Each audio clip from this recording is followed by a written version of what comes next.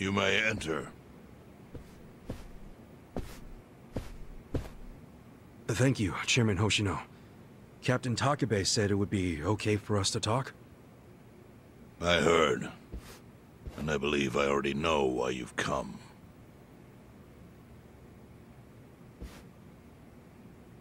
You've done us a great service.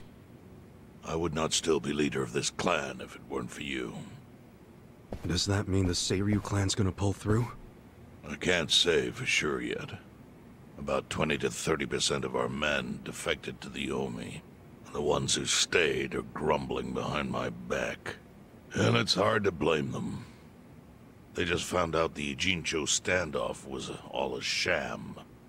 Zhao told me he's giving up his position as the leader of the Liumang. Songhui is going to lead them. Yes, I know. you just know everything, huh? Not everything. But I'll tell you what I do know. Eventually, the Seiryu clan will succumb to the Omi Alliance. What? For people who had nowhere to live outside the Grey Zones, the Great Wall of Muscle was their only protection. Now it's crumbling. That's a matter of life or death for them. Already rumors are flying into Jincho's political circles. Rumors that Ogikubo's lost his touch. I'm sure Aoki got those whispers going. He never lets a good crisis go to waste. Oh, really? Aoki knows it would destroy the party if it ever revealed their chair, Ogikubo, forged money for years.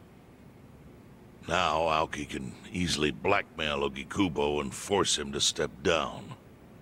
Aoki will become the new party chair. I don't get it. Why does he want to take Ogikubo's place so bad? The party chair manages elections, so in that role, Aoki could nominate anyone he wants. He'll control the ruling party. Therefore, he'll control the nation. The whole country will be under his thumb? Yes. Especially if I'm right about his next move. I think he's gonna try to dissolve Parliament.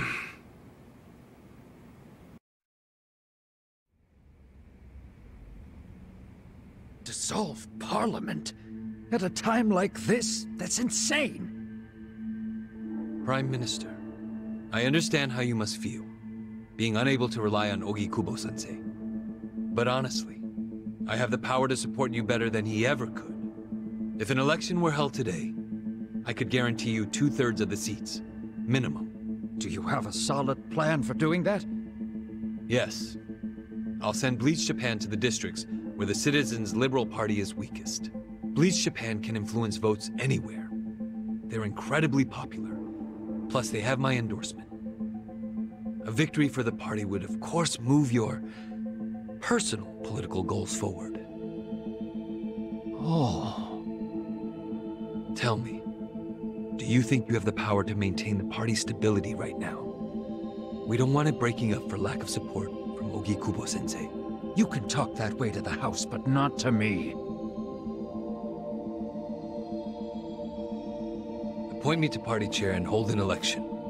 If you don't, I'll be forced to make public the nature of Ogikubo-sensei's crimes.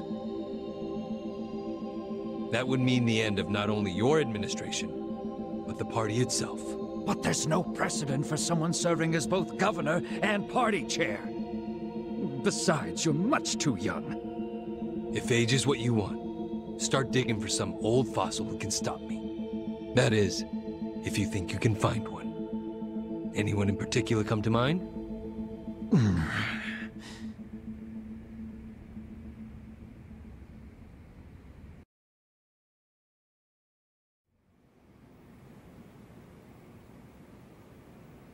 Aoki's scheme to destroy the Great Wall worked. Now he's got Mabuchi and the Omi at his command. So much power, vested in just one man. And it had to be Masumi Arakawa.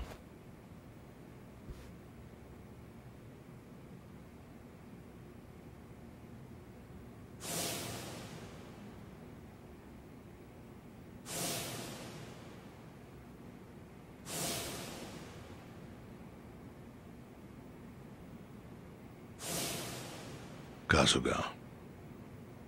I know you never intended to be at the center of all this. It was pure coincidence that you were there when the soapland owner died. Wouldn't you agree? Yep. Lucky me. But one thing I don't believe is a coincidence is that you ended up in Ijincho. Huh? What do you mean? Do you still have that fake bill?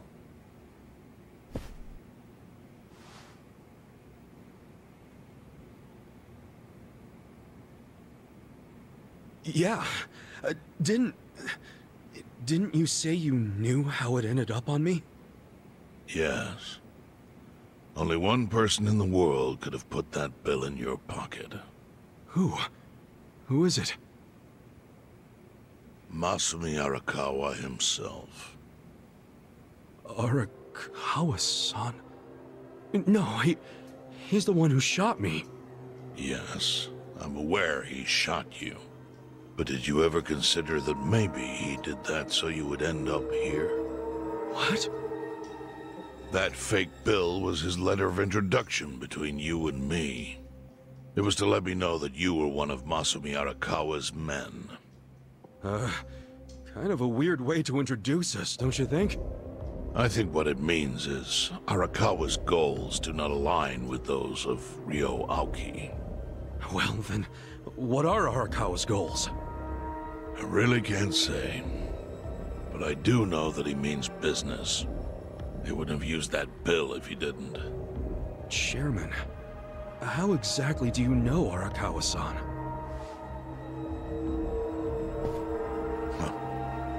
Well, that's a long story. And there's a much better place than here to tell it. Heian Tower. Heian Tower. Yes. That's where my fate intertwined with Arakawa's. he sure seems to be partial to Peking duck. Yeah. Let's have it for lunch tomorrow. My treat. I'll make the reservation.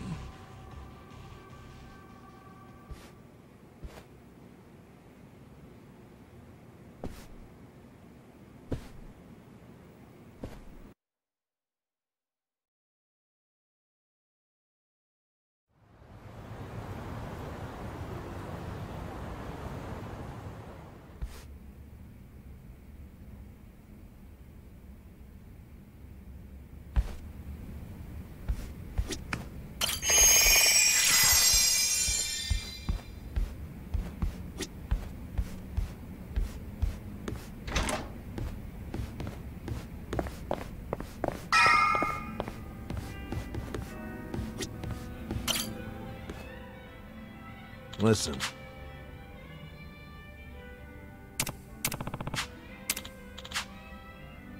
Okay.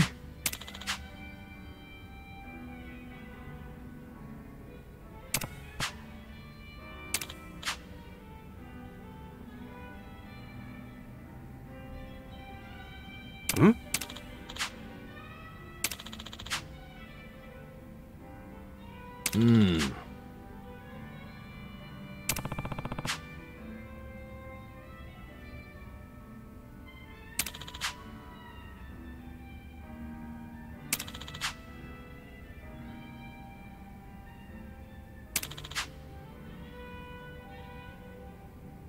Huh.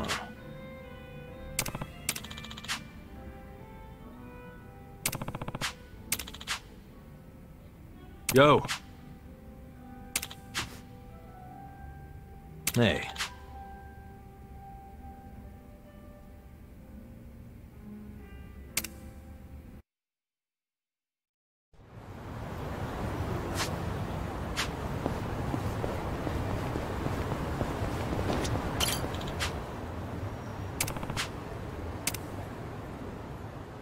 Time to hustle!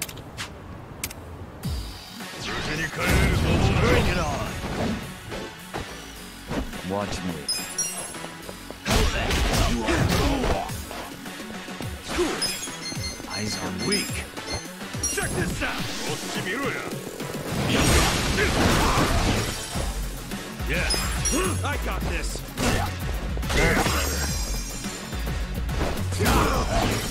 I'm up! Let's go!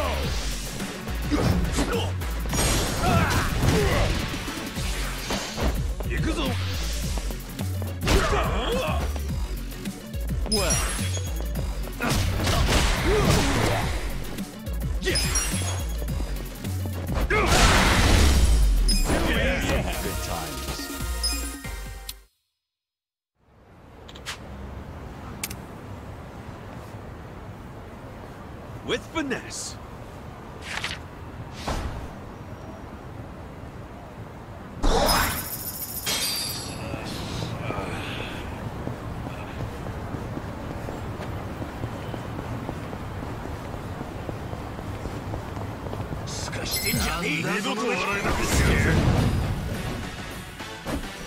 Watch me. You're in it now.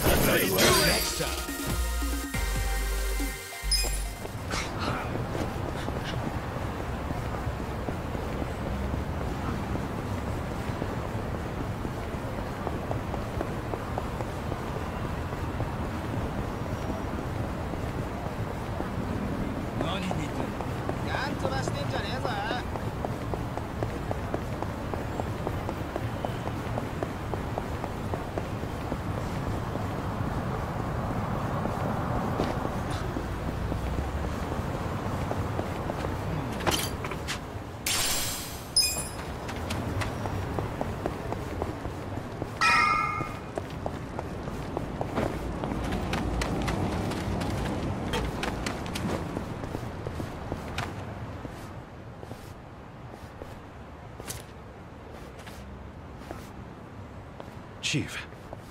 Hmm? My friend's got some questions about the day I was dumped in this town. Yeah. I want to know why you didn't just abandon Ichiban or dump him at a hospital. If you don't mind telling us, I'm sure we'd all appreciate it.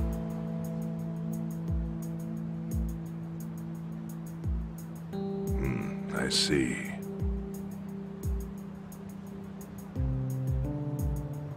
Fine.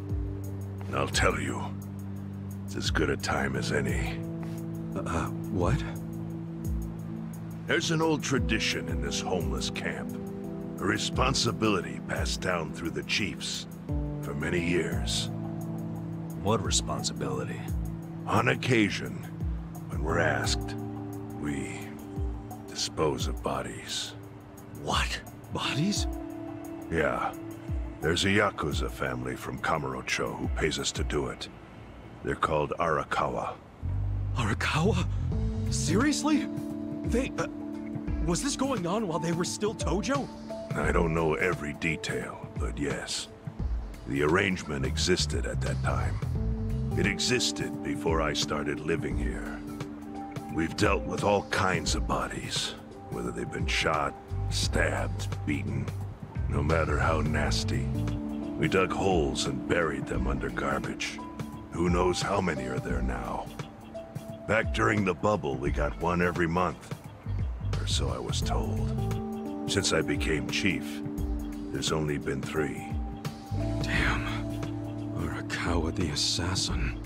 But there's one more secret rule. It applies to anyone the Arakawa bring here alive. A secret within the secret. Great.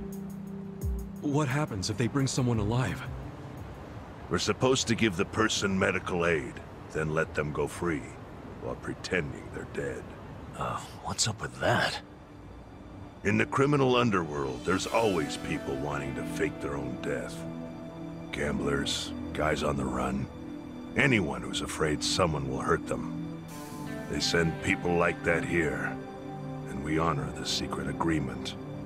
I think it might actually be a service the Arakawa family provides, but obviously they don't advertise it.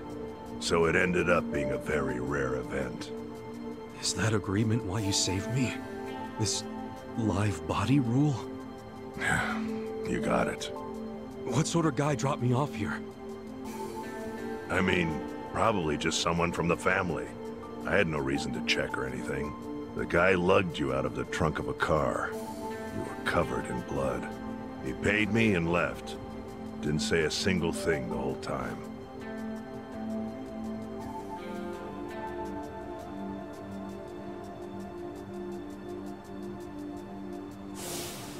I'm sorry, Ichi. You have to die. I'm counting on you, Ichi.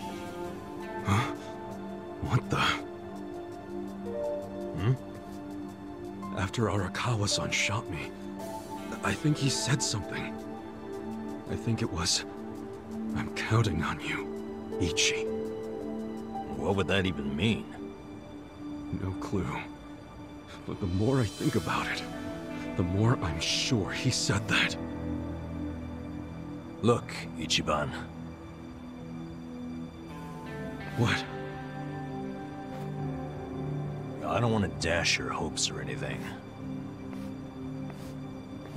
When you were dumped here, you were on death's doorstep. You're only alive because everything I did went exactly the way we needed it to. But it could have easily gone a different way. I know you want to trust Arakawa, but... I think Arakawa-san had to shoot me. All the other Yakuza at that meeting were watching him. Huh? Never mind. You don't get it. Forget I said anything.